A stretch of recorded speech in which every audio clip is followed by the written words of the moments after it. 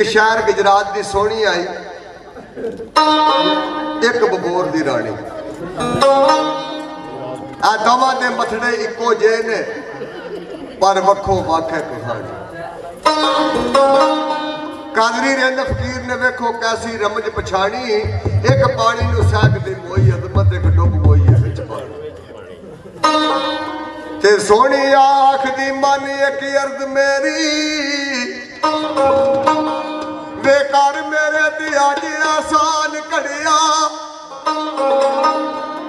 ਇਹ ਠੱਲਾ ਚਨਾ ਦੀਆਂ, ਠਾਠਾ ਮਾਰਦੀਆਂ ਨੀ, ਜਿੰਨਾ ਕੀਤਾ ਮਨੂੰ ਪਰੇਸ਼ਾਨ ਕੜੀਆ ਤੇ ਮੁਖ ਯਾਰ ਦਾ ਵੇਖਣਾ ਮੈਂ ਅੱਜ ਵਰਗਾ। ਇਹ ਮੇਰਾ ਇਹ ਵਾਈ ਦੀਨ ਅਮਾਨ ਘੜਿਆ।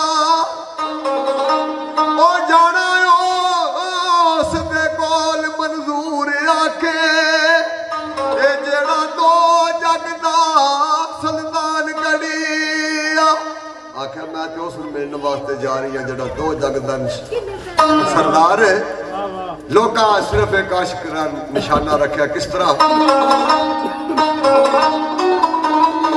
ਤੇ ਘੜੇ ਦੇ ਨਾਲ ਇੱਕ ਸੋਹਣੀ ਗੱਲ ਕਰਦੀ ਕਿਸ ਤਰ੍ਹਾਂ? ਵੇ ਮਨੂੰ ਦੇ